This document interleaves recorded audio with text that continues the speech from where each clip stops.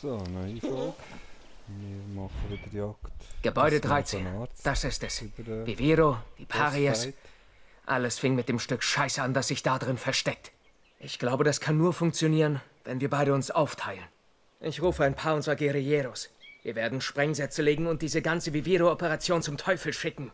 Es wird nicht leicht sein, aber du musst irgendwie in dieses Gebäude kommen und das Arschloch umlegen. Heute heißt es er oder wir. Denn nochmal bekommen wir so eine Chance nicht. Du hast mich wachgerüttelt, Danny. Ich bin vor Castillo davongerannt. Vor Maria, vor allen. Jetzt rennen sie vor mir davon. Das ist für Thalia. Wir werden das kranke Mistschwein beerdigen.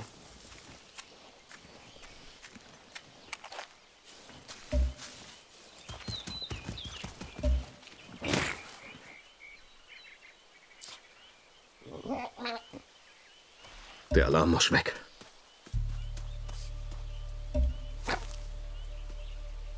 Oh, gefährlich.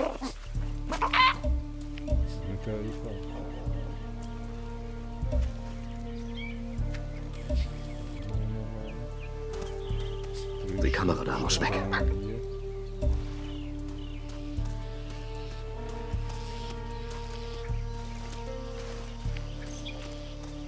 Hier. Schaffen wir etwa nicht ohne Alarm. Es soll sich eh ein bisschen alle geben. Das ist das Problem.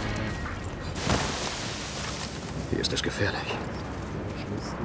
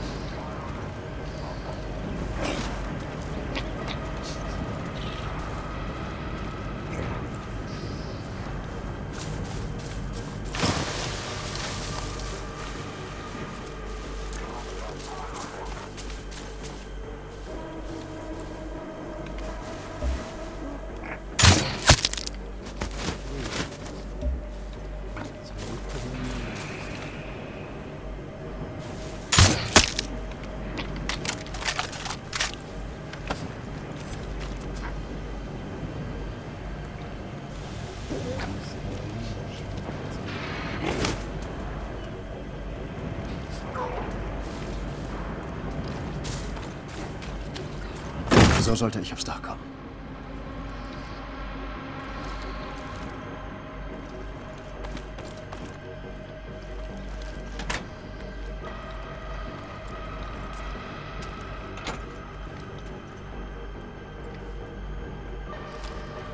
Jetzt mit das Rot es rot.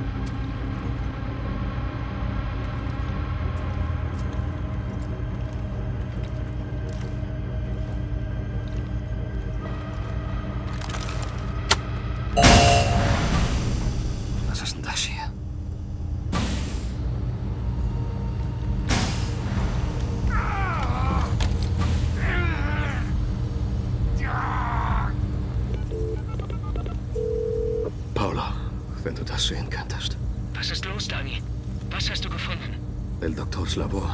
All seine Experimente. Reiß dich zusammen. Wird El Doktor heute sterben? Der wird sowas von sterben heute. Du nennst dich Arana? Ich bin nur Medizinstudent.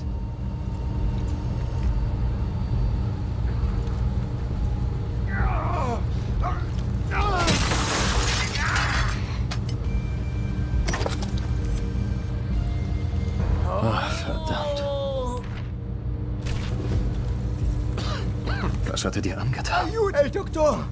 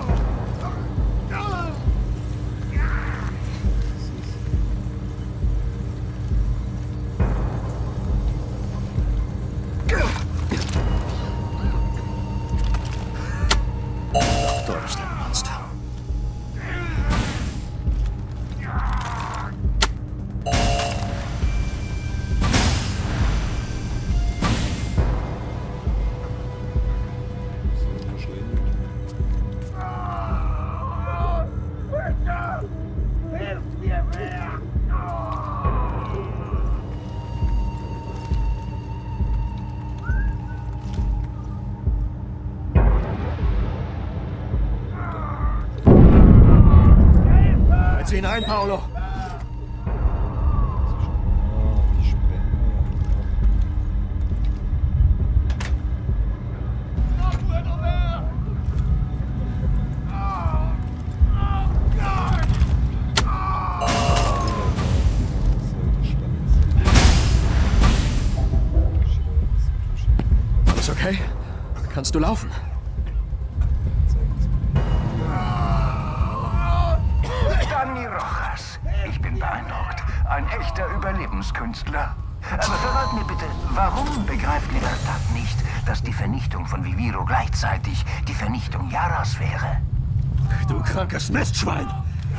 Sehen, was Vivido anrichtet. Und ich werde das hier ein bisschen zu sehr genießen. Mit dir ist nicht zu reden, was? Wusstest du auch schon, was eine hohe Dosis PG-240 mit deinem Körper anrichtet? Unmöglich. Deine überlebenden sind stark, aber du bist nur eine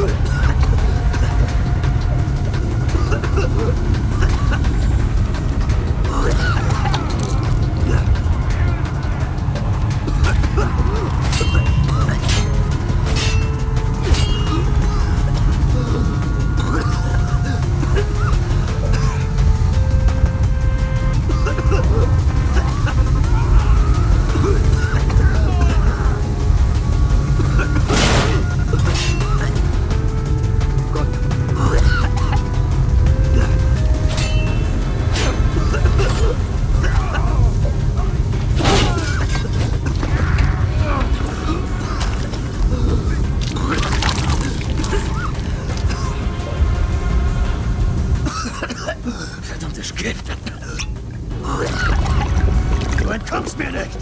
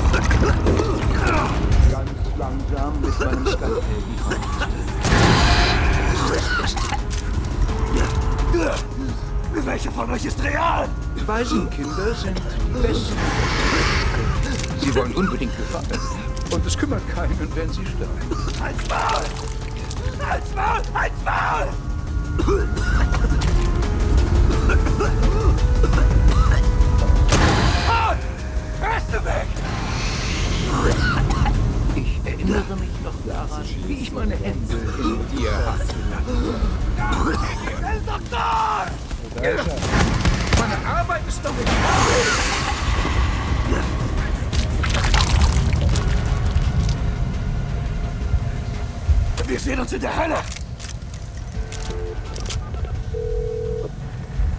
Paolo, El Doktor ist tot. Ja, Dani, du hast es geschafft. Was machen wir jetzt mit den Leuten? Du hast gerade das Beste getan, was man für sie tun kann. Und jetzt, raus damit hier. Relax, Miente. Juan ist schon mit einem Hubschrauber unterwegs. Juan? Alter, wie? Hast du gedacht, ich finde nicht raus, was ihr Kids so treibt? Paolo, wir treffen uns am Landeplatz. Und Juan? Danke. Komm, Paolo macht keine Sachen.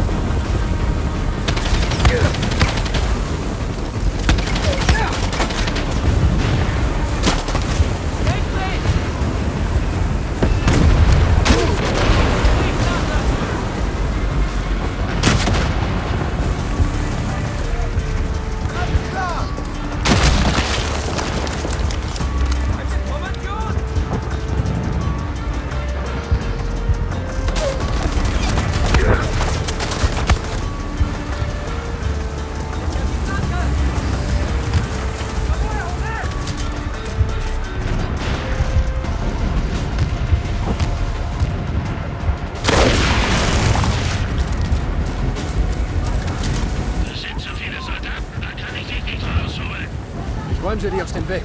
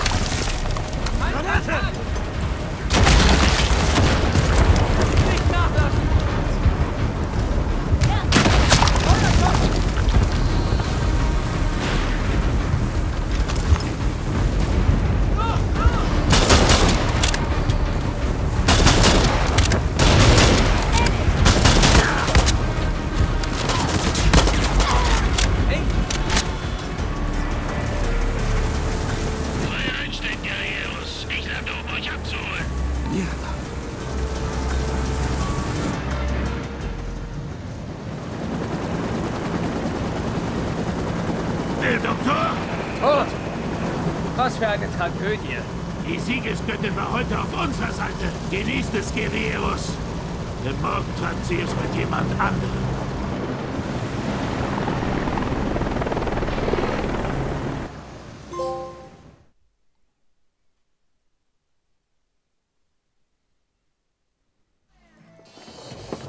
Noch nie was von Pedro Torero gehört? Diese Generation ist verloren. Hört ihr nie auf zu reden? Nein. Talia!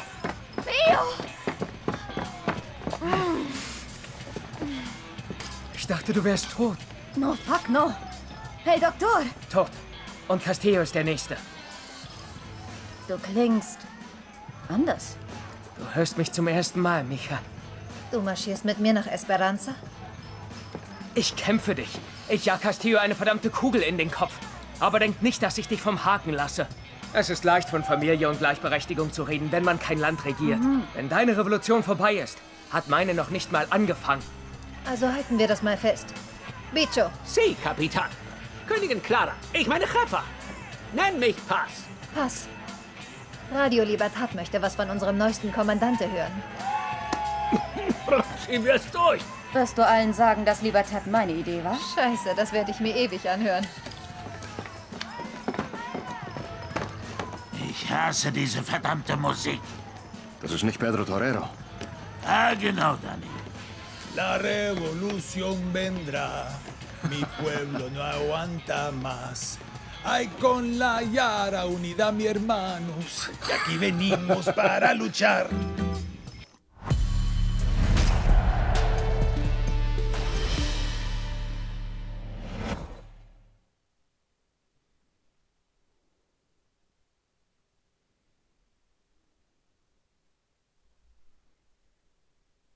Wahre Yarana. Diese Terroristas, die uns heimsuchen, haben keine Vision für Yara. Sie wollen nichts als Chaos. Sie. Sie. Diego. Sie, Papa. Sie wollen nichts als Chaos. Das passt nicht. Das hast du schon mal gesagt.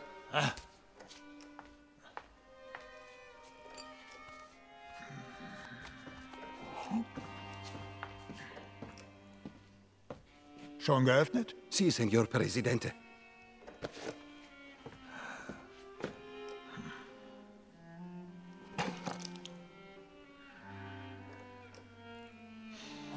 Es klingelt jede Stunde, Senor Presidente. Hola, Fascista.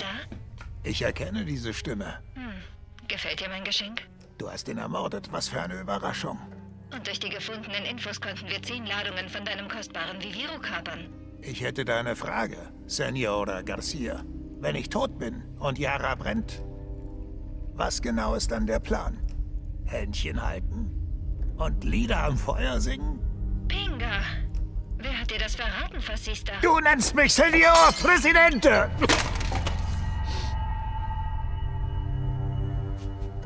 Werf die Kamera an. Ich kann jetzt zum Volk sprechen. Papa? Was? Halbnarr. Läuft, Signor Presidente. Mit großer Trauer gebe ich bekannt. Ein Held des Paradieses ist tot. Dr. Edgar Reyes. Er war nicht nur der Kopf hinter Viviro, sondern auch ein persönlicher Freund.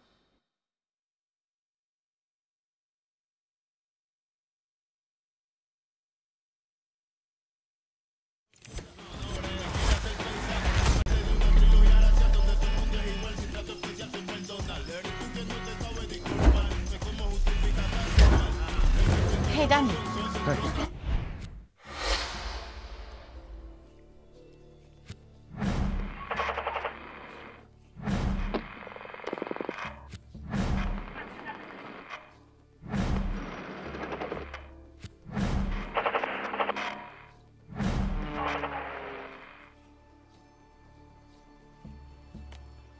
So, ich glaube noch die Mission. Mordanschlag ist auch noch, aber da habe ich einfach das Gefühl, da passiert nicht das, was wir erwarten. Vor allem könnte es ja mal probieren. Wahrscheinlich auch noch auf Mission offen, ich weiß nicht, ob das noch für ähm, Multiger ist.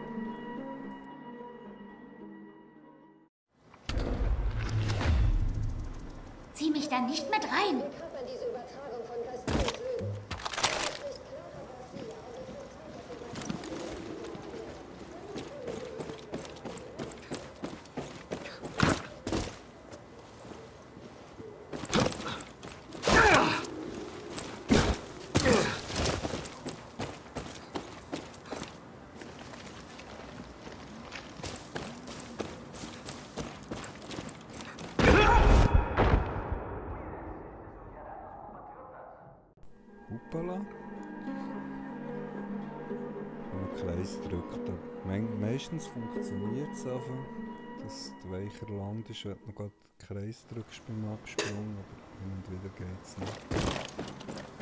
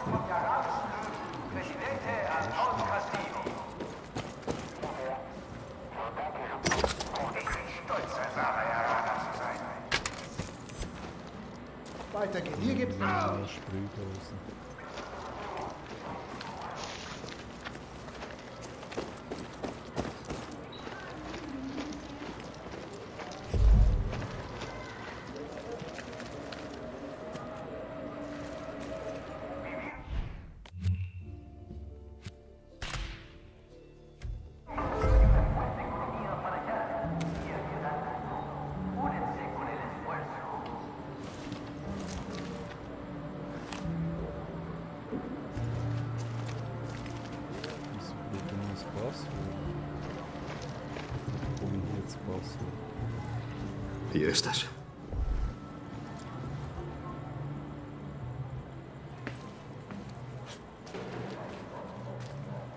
Hab gehört, du hast heute Nachtschicht.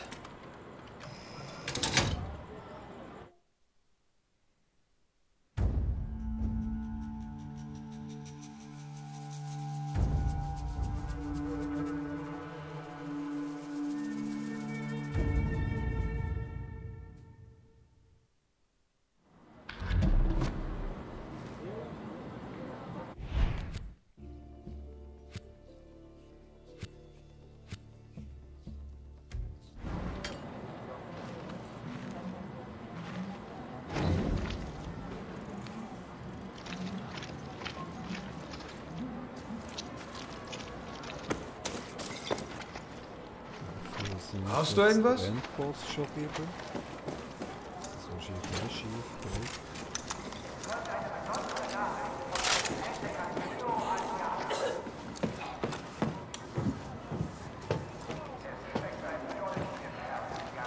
Mehr Frischfleisch.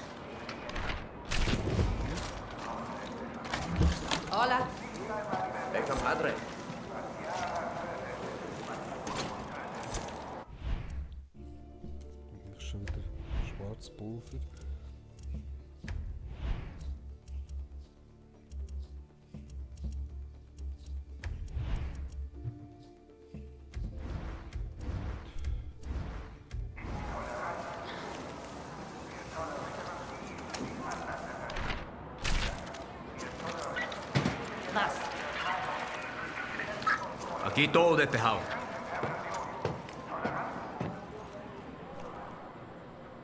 Die Sprengsätze kommen hier, hier und hier hin. Rede geht los, Ladung gehen hoch. Wir ziehen einen Ring aus Feuer, heißer als das Arschloch des Teufels. Und das heißt, Castillos Truppen kommen nicht raus und Verstärkungen kommen nicht rein. Und Danny ist mittendrin. und dann was? Danny tötet El Presidente. Wunderbar. Hey, Danny. Danny! Was für ein geiler Supremo! Ich soll also Anton Castillo töten. Heute. Anton hält heute seine jährliche Unabhängigkeitstagsrede im Hotel Paraiso, live. Juan hat Infos, wo genau seine Sicherheitsleute postiert sind. So eine Chance gibt's nur einmal. Wir schlagen der Schlange den Kopf ab und machen uns Stiefel aus ihr. Mierda. Und du bist einverstanden. Ein Diktator zu töten, der unser Land schändet und unser Volk versklavt? Ich denk drüber nach. Und du so? Ich habe noch nie einen Präsidenten umgebracht. Das ist ein Attentat, Danny. Pures Guerilla-Meth. Gott, ich muss duschen. Und du brauchst das hier. Du wirst eine gottverdammte Guerilla-Legende. Ich ruf dich an.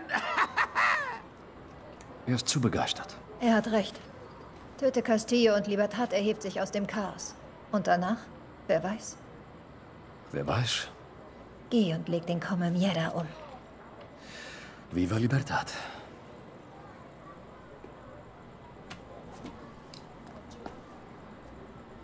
Ich hoffe, ich kann ihn aufschieben.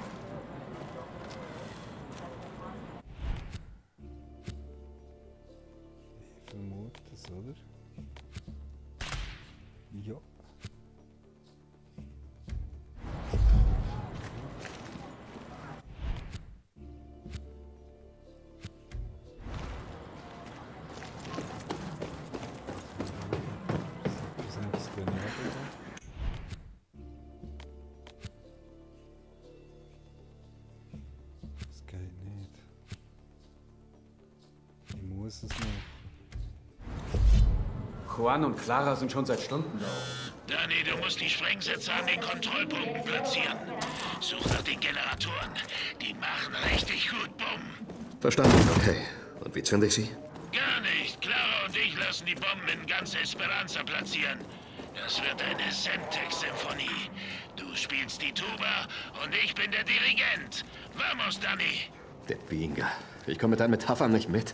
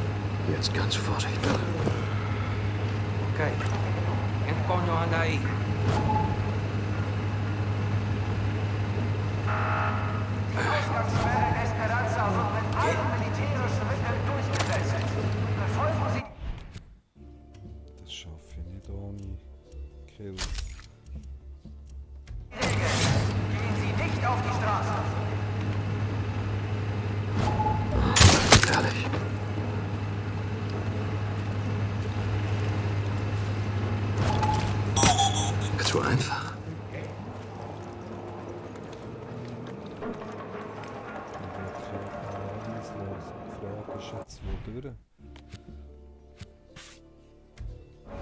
Eine Nachricht vom arabischen Löwen.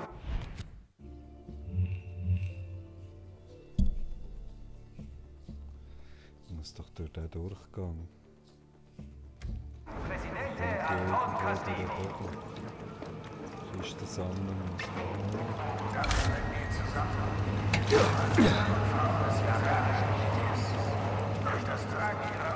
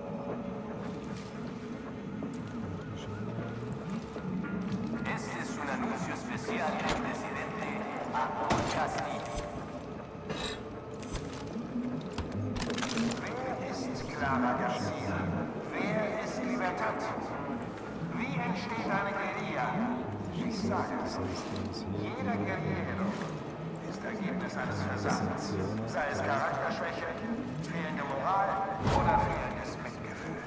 Was? Jedes Mal, wenn wir versagen,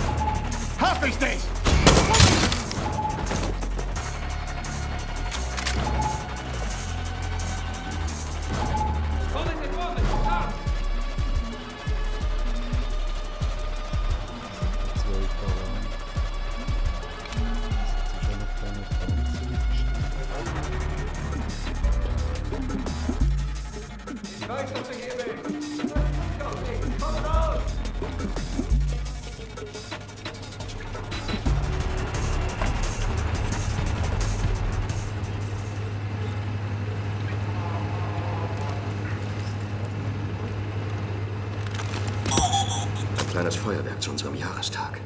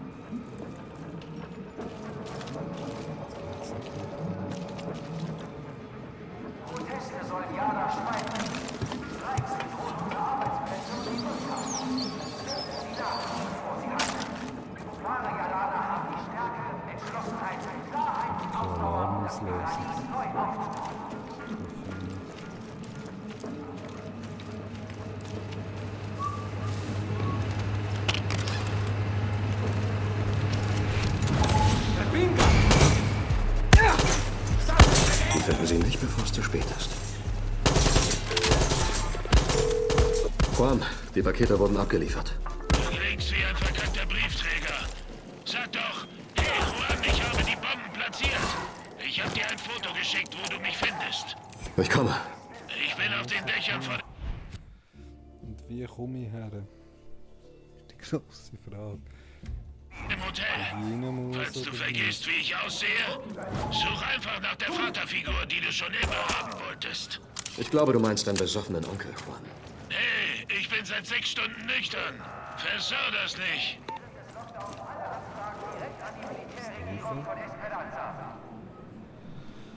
Aber wo?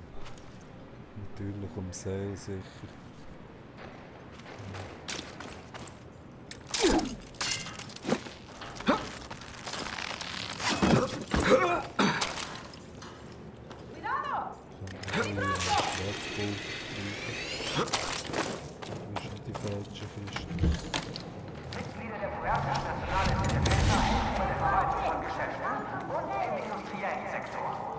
Wir bedanken uns beim Militär, das uns den Weg ins Paradies bereitet.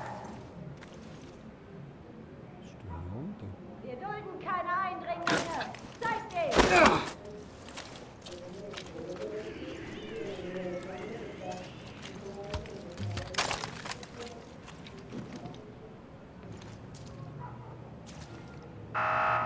Das Kriegsrecht wurde verhängt. Alle Bürger unterstehen nun der Militärgerichtsbarkeit.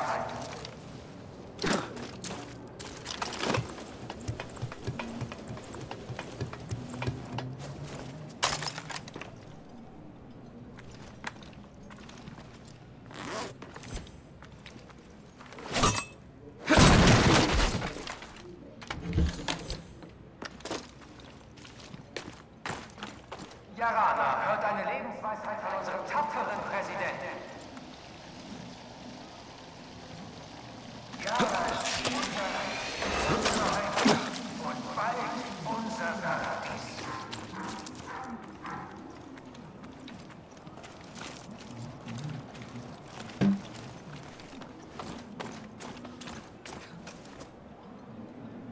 Hola. Hey, Ha? Jeder, der wissentlich Falschinformationen verbreitet, welche die soziale Ordnung bedrohen, muss ernsten Konsequenzen rechnen.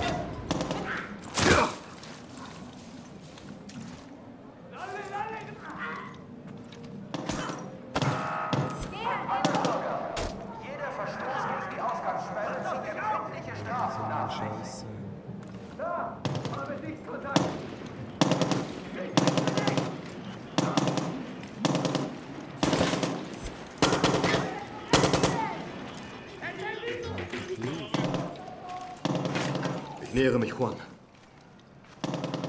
Ich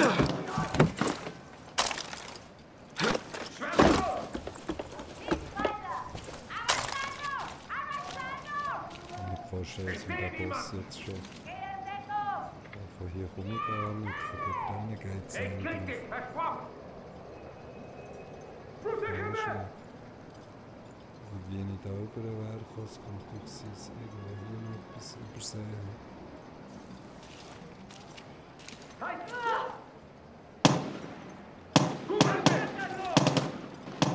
jetzt nicht einfach. Ja, von hier.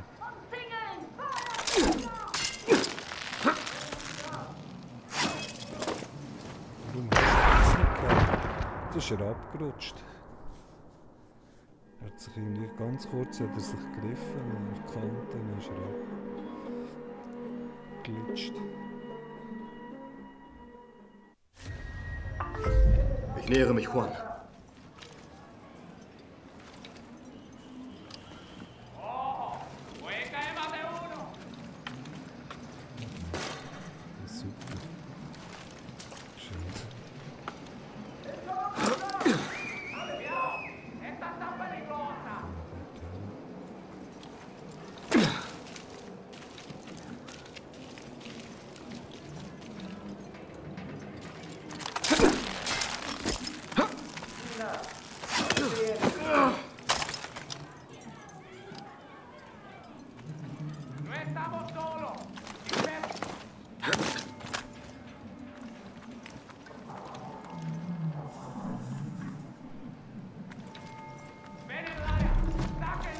Danny, nervös vor dem Einsatz?